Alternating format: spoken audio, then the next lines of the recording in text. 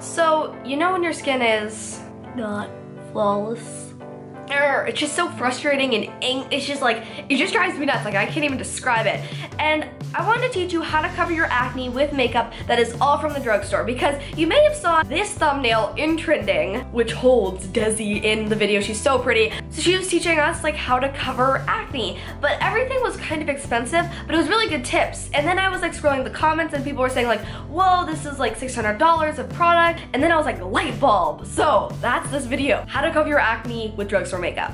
First things first, I feel like skincare is always first. So I kind of wanted to show you what I use for my primer as well as my skincare because my skin was really, really bad. Like here's the photo. Oh my gosh, I was just like so mad. I was always like picking at my face. I was always popping every pimple. I was just so irritated. And I feel like I was definitely very unhappy at that time. My skin is still no way like perfect, um, but it's definitely a lot, um, a lot better. It's a lot flatter and just more healed. Besides the two that I kind of irritated while I was you know, but um, these products really calm my skin. Uh, these are Face Reality skincare products. Also, I will not be linking Face Reality down below because you cannot get it online. I can link their website, but you can just enter in your city and your state and facial place, and then a bunch of places will pop up, call them around, see if they have Face Reality, and that's how you'll get Face Reality because you can only get it from like a professional. So yeah, today I'm gonna be using the Face Reality Hydra Balance Hydrating Gel. So there's no harsh chemicals or anything that's gonna irritate your skin. It's just gonna really clean out your pores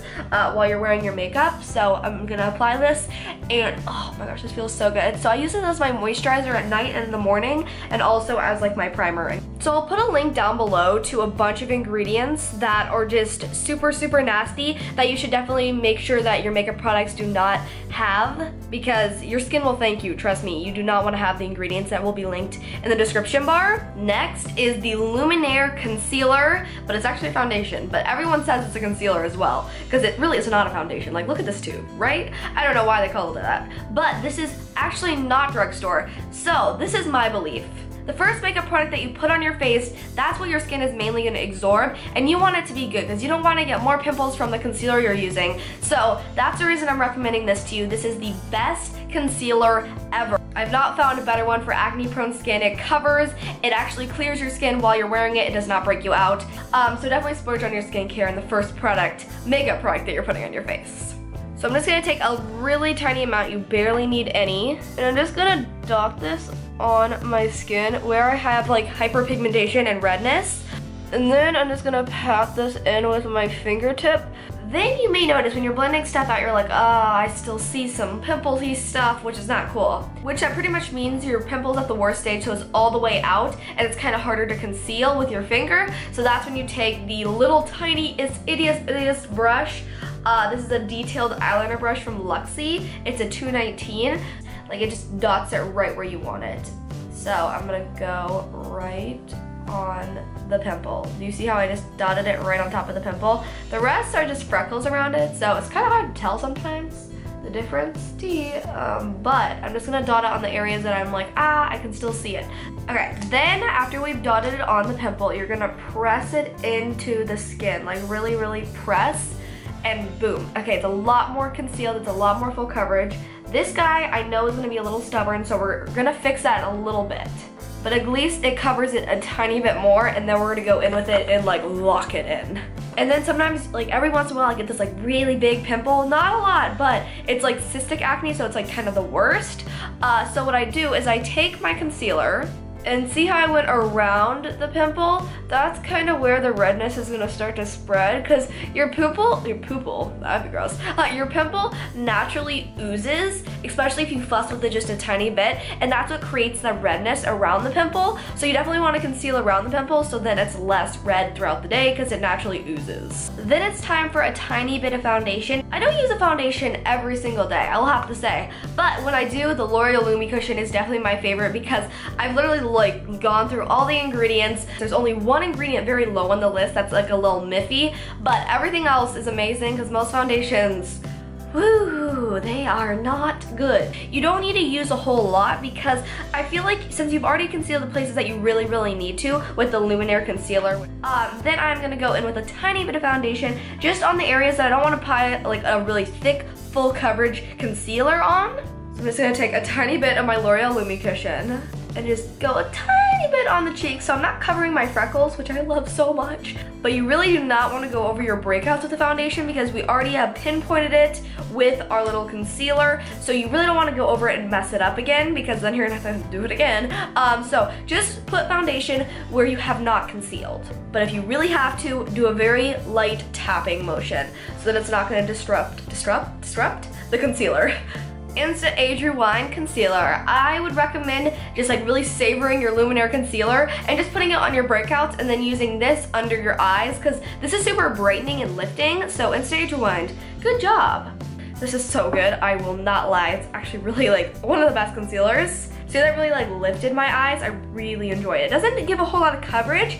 It's just a lot of brightening and um, yeah, it's really, really nice. It's very lightweight. Powder foundation is next. To be honest, you do not need two powders. I'm just showing you two also because this one is a little too light for me and this one's a little too dark. Um, so the first one I love the most is the Pixi by Petra Color Correcting Powder Foundation. You can get that at Target. And then we have the Super Super, Super Stay Better Skin Foundation Powder from Maybelline and you can get this at every drugstore or just about. Desi Perkins used um, two foundation powders, and I so agree with her what she said. She said use two colors, make sure you have the perfect match, otherwise it will not work, and it is true, it will not, because you're gonna look like you have just like a weird brown or white um, dot.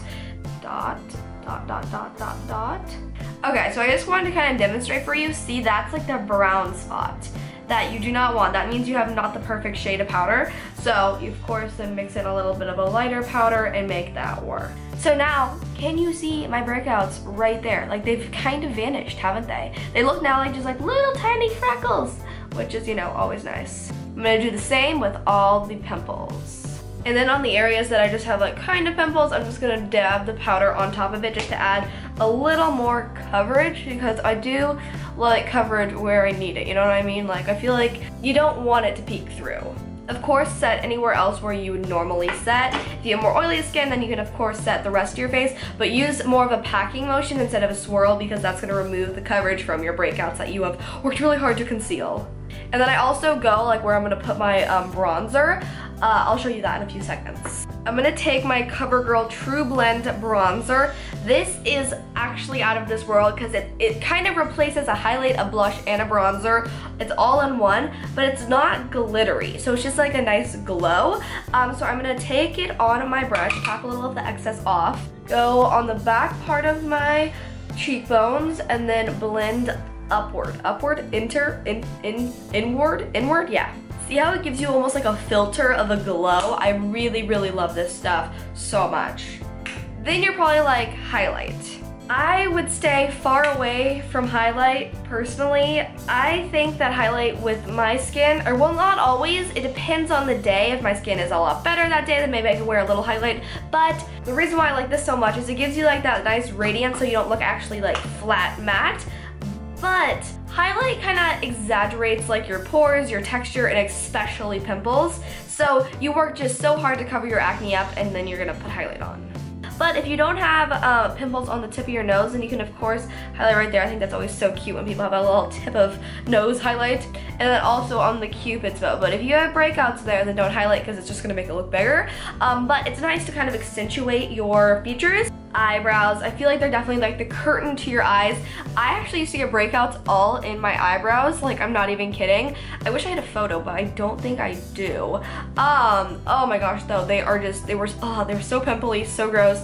Um, and I think it was like a brow product that I was using. I feel like it was the Anastasia Clear Eyebrow Gel, which is so amazing, but kind of a bummer. But if you have breakouts in like your eyebrow hairs, this is the Essence Make Me Brow. It's not very good English, um, but it's a really good product in general. It's just like the Gimme Brow, then because most likely you won't have any breakouts on your eyelids.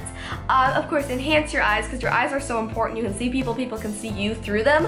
Um, so I'm gonna just take my CoverGirl True Blend Bronzer and then I'm just gonna take that on my finger and just pack it on the center of my lid and then buff upward just a tiny, tiny bit kind of opens your eyes up, gives them, gives them a little lift. Then mascara. Uh, this does not have to be not comedogenic, which not comedogenic also means like, I'll put it right here. Comedogenic is bad, non-comedogenic is good because that will not clog your pores. But you know, you don't need a mascara that won't clog your eye glands.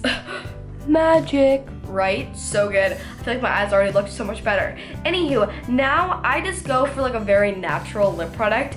This is the Mineral Fusion Clear Lip Gloss that is the makeup look. It's really actually pretty easy. There's not a lot of products that you really need for it. Um, you just, you know, you gotta have a little patience. It might take a few times for you to do it, but I really hope you enjoyed this video. Remember, acne is normal. Trust me, when I had really, really bad, or well, it wasn't really that bad, but like, you know, uh, like a decent amount for me at least, it was so horrible. Like I could, I didn't feel like I wanted to go out anywhere. I just felt like everyone was looking just at my acne. And remember, most of the time people aren't looking at your acne. Um, yeah, I love you so much and bye. Huggy huggies!